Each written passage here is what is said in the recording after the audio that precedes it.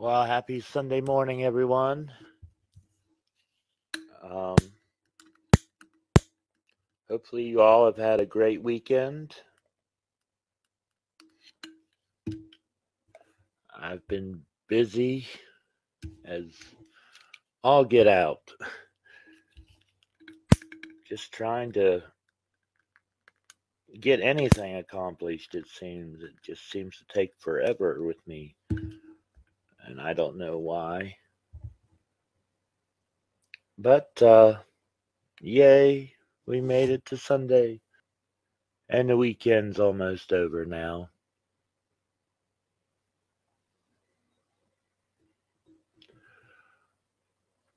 But I hope it's been going well for you all. Um, let's see. Today I want to give a shout out to uh, someone, uh, Cassie. Now, Cassie does a lot of uh, readings and stuff on her channel and other things. Um, but I think ma- mainly readings are her thing.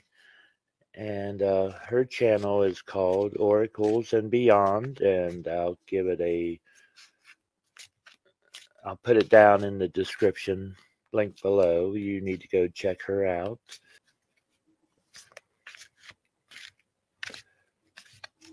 She's uh she's got a great sense of humor. She's very good at what she does and boy, she's got so many decks of cards. I'll tell you. I think it's like a hobby of hers to uh to collect them. I, I'm envious. I am. But uh yeah, go check her out if you haven't already. How have you all been liking the segments on the uh, herbs and their uses and stuff? I'll be including another one in here today.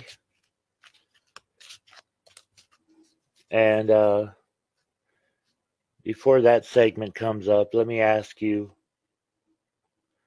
how is a sheep and ginger related? Think on that a little bit because that answer will be coming up.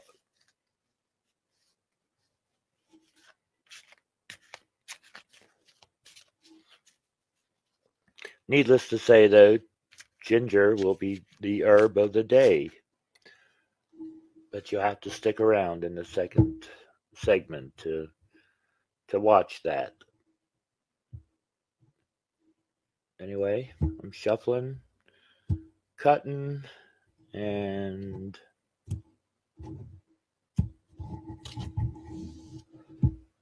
let's see what today's card is. It is the Ten of Cups.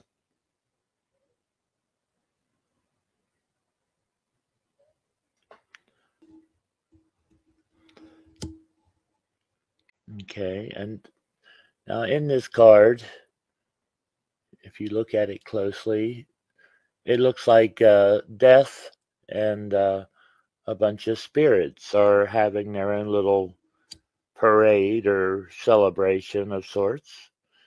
They seem to be uh, pretty happy in their uh, afterlife from its joyful depiction, if you want to consider that joyful.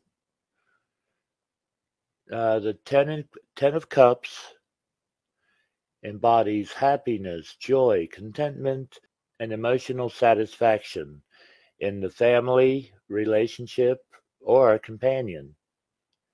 It represents an idyllic state of comfort, harmony, peace, and love, which makes you feel like you are in paradise this is where all your dreams, wants, needs, and wishes have been fulfilled, and you feel a complete sense of satisfaction.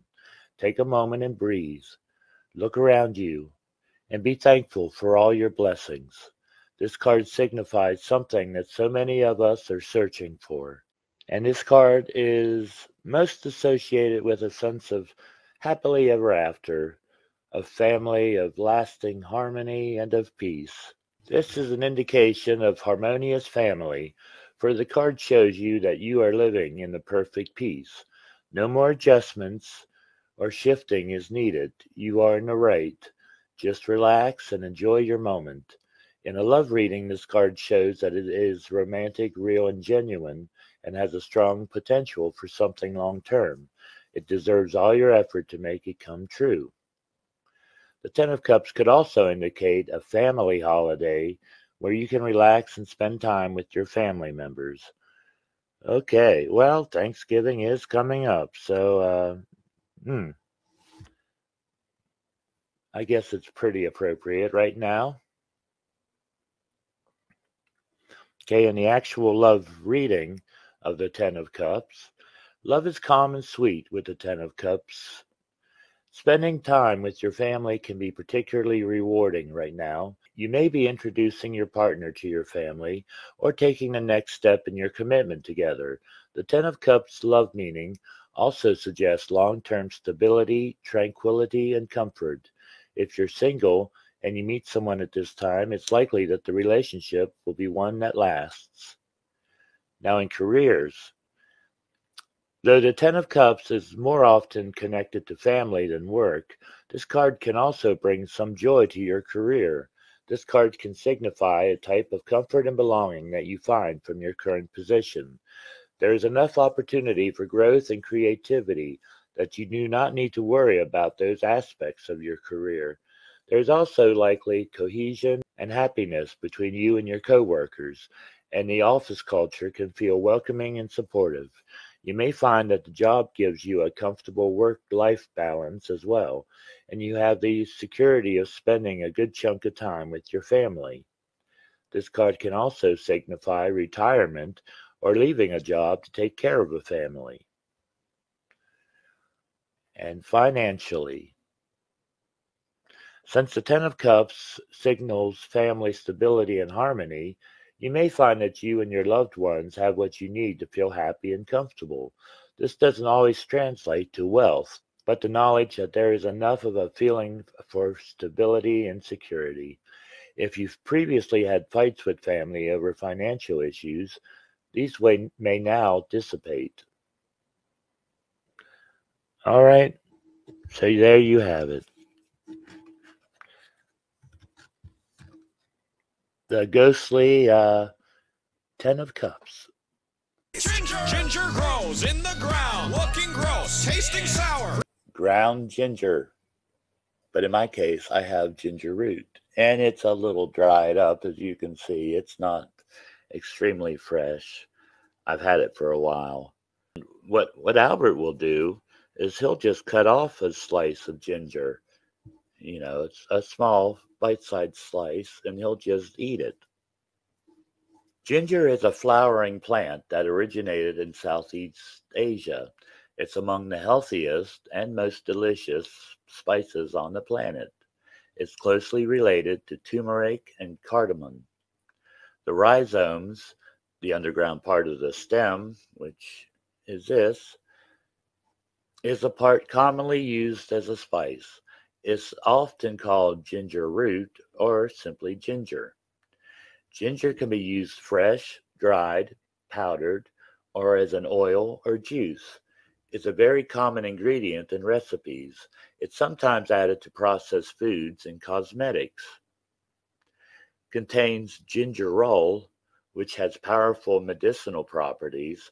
It's believed that ginger has been cultivated for at least 5,000 years having originated in the islands of Southeast Asia. It's a cultigen, meaning that it was deliberately bred and doesn't actually exist in a wild state. It was used widely by the Austronesians peoples for multiple purposes, from food to medicine to material to make mats with.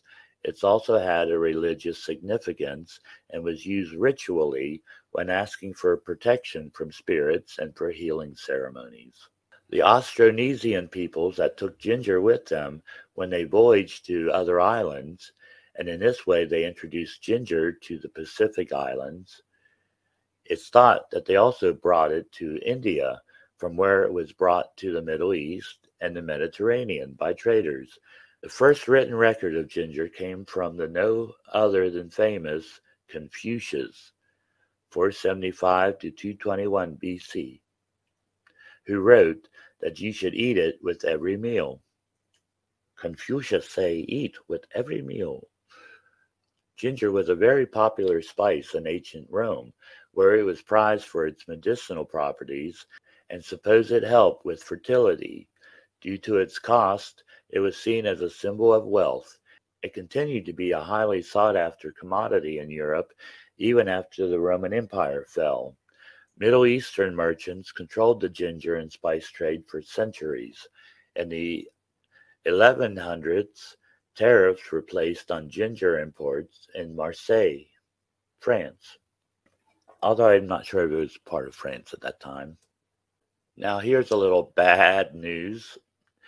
In 1200 to 1300 AD in England, a pound of ginger was expensive and cost about the same as a sheep. Bah. By medieval times, ginger was being imported readily into Europe in both raw and preserved forms, though at this time preserved ginger was favored to be used in sweets. Queen Elizabeth I is thought to have invented the gingerbread man, which then became a popular treat at Christmas. She had it made because her father had recommended ginger as a remedy for the plague. Interesting and slightly frightening origins for such a delicious treat. So, gingerbread men were thought to combat the Black Death. Spanish conquistadors introduced ginger to the New World and brought it to the Caribbean, where it flourished. Ginger was one of the first spices to be introduced from Europe. Native Americans also started using ginger as treatments for various ailments and also as a flavoring agent for their food. Today, ginger is found in many spice cabinets all over the world. It's a common treatment for colds and flus and is often prescribed in tablet form to those who suffer from seasickness. I did not know that. Traditional Chinese medicine believes that Ginger will treat the whole human body. This is because when it's harvested, ginger roots often look like they could have a head, legs, and arms, like a little voodoo doll type thing, I guess. You can make wine out of ginger. Ginger beer will also almost always turn alcoholic. The name ginger comes from the Sanskrit word meaning horn root after ginger root's appearance. This was translated into the Latin gingiber and into Old English gingibra, which has now turned into just ginger. And ginger is also a character on Gilligan's Island. There's a useless trivia fact that probably all of you already knew. The ancient Greeks would eat ginger wrapped in bread after a large meal to aid digestion. The ancient Austronesians used it to bless ships. Okay, and I'll go over this list, and many of these, amazingly, are the same for everything I've covered so far the mint, the, the cinnamon, and now the ginger. So you'll see, it sounds like I'm repeating myself a lot, but I'm really not all that much. Anyway, here we go for the list of these. Ginger is used as an anti-inflammatory, antioxidant, helps to reduce gas, helps ease nausea, a great remedy for seasickness, as I mentioned a while ago, might help muscle pain in the long term, may help to ease the symptoms of colds and flu, may help those suffering from osteoarthritis, may lower blood sugars, may improve oral health, may help to treat chronic indigestion, may help to relieve menstrual pain, may lower cholesterol, may help to protect against Alzheimer's disease, may help improve brain function, and helps to fight infection. Gingerol has a powerful anti inflammatory and antioxidant effect, which, according to research, for instance, it may help reduce oxidative stress, which is the result of having an excessive amount of free radicals in the body. Ginger is considered safe to consume in reasonable quantities. It's on the FDA's generally recognized as safe list. It does interact with some medications, so if you are taking anticoagulants or heart medication in particular, definitely check with your doctor before consuming ginger as a health tonic. And I always say, see your doctor first before you follow any of this. If you have problems of these natures, medical natures, see your doctor first. I know I sound like a broken record, but I, I would hate to see anybody follow this and have major issues that could be treated medically and are not getting the treatment because they think they're treating it this way instead. Y'all know what I mean? So please see your doctor first. It can treat many forms of nausea, especially morning sickness. Ginger appears to be highly effective against nausea. It may help relieve nausea and vomiting for people undergoing certain types of surgery. Ginger may also help chemotherapy related nausea, but larger human studies are needed. However, it may be the most effective when it comes to pregnancy related nausea, such as morning sickness. Although ginger is considered safe, talk to your doctor before taking large amounts if you're pregnant. It's highly, it's highly recommended that pregnant women who are close to labor or who have miscarriages avoid ginger. May help with weight loss. Ginger may play a role in weight loss according to studies conducted in humans and animals. Ginger could also help reduce body mass index, BMI, and blood insulin levels. High blood insulin levels are associated with obesity. Ginger's ability to influence weight loss may be related to certain mechanisms, such as its potential to help increase the number of calories burned or reduce inflammation can help with osteoarthritis, which involves degeneration of the joints in the body, leading to symptoms such as joint, joint pain and stiffness. There are some studies showing ginger to be effective at reducing symptoms of osteoarthritis, especially osteoarthritis of the knee, may drastically lower blood sugars and improve heart disease risk factors. Ginger has been shown to lower blood sugar levels and improve various types of heart disease factors in people with type 2 diabetes. Can help treat chronic indigestion. Chronic indigestion is characterized by recurrent pain and dis- discomfort in the upper part of the stomach. Ginger appears to speed up emptying of the stomach, which can be beneficial for people with indigestion and related stomach discomfort may significantly reduce menstrual pain. Dysmenorrhea refers to pain felt during the menstrual cycle. Ginger appears to be very effective against menstrual pain when taken at the beginning of the menstrual period. Oh boy, I get into these topics. I do it for you all, it's all educational. May help lower cholesterol levels. High levels of LDL, bad cholesterol, are linked to an increased risk of heart disease. There's some evidence in both humans and animals that ginger can lead to significant reductions in LDL, bad cholesterol, total cholesterol, and blood triglyceride levels. It contains a substance that may help prevent cancer. Ginger has been studied as an alternate remedy for several forms of cancer. Gingerol in ginger appears to have protective effects against cancer. However, more studies are needed. May improve brain function and protect against Alzheimer's disease. Oxidative stress and chronic inflammation can accelerate the aging process. Animal studies suggest that ginger can protect against age related damage to the brain. It can also help improve brain function in middle aged women, can help fight infections, Gingerol can help lower the risk of infections. Ginger may help fight harmful bacteria and viruses, which could reduce your risk for inve- infections. If you want to add ginger to your diet, you can do so through what you eat and drink. The bottom line Ginger is loaded with nutrients and bioactive compounds that have powerful benefits for your body and brain. It's one of the very few superfoods actually worthy of that term. Using ginger in abundance and prosperity spells is wonderful. The magical properties of ginger have a particular particular affinity with manifesting abundance and warding away poverty. Ginger is not only wonderful in magic, but it also is a stunning plant. Keep a small pot of ginger on a windowsill and enjoy its beauty while it's calling abundance, luck, and good fortune to you. And I have a few ginger plants around. They like good light and they don't like to dry out too much.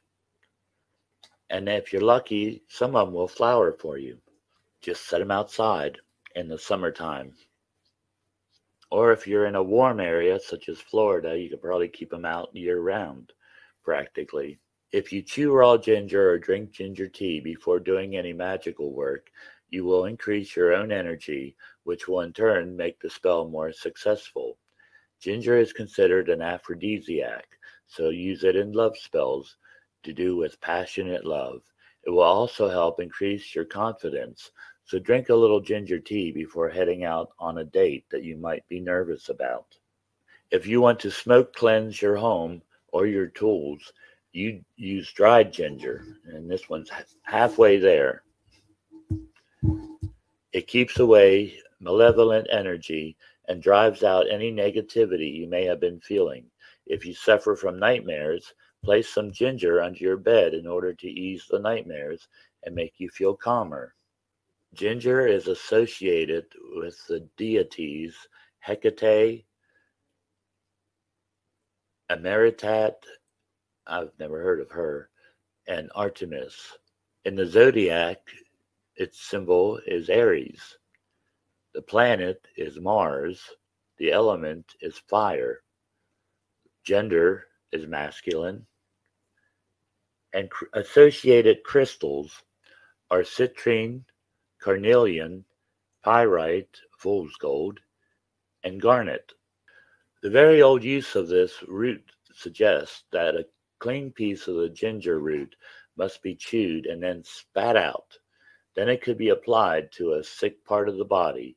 It can also be applied to the photograph of a person who is sick. Hmm. I think you'd have to be pretty strong to be able to do something, pull off something like that.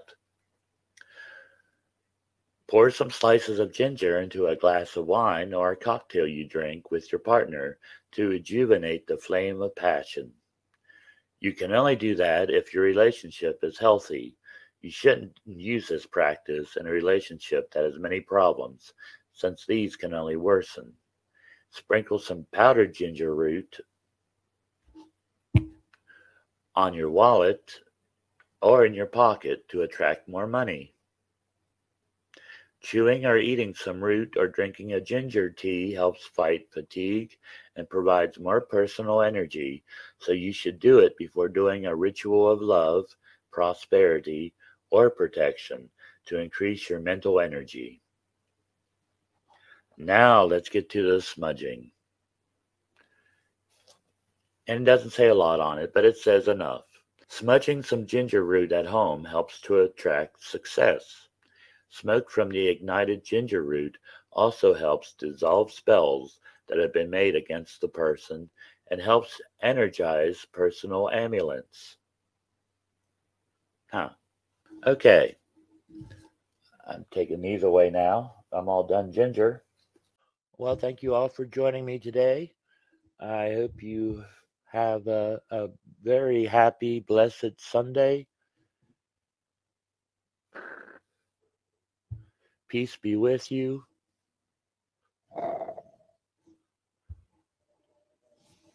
And everyone.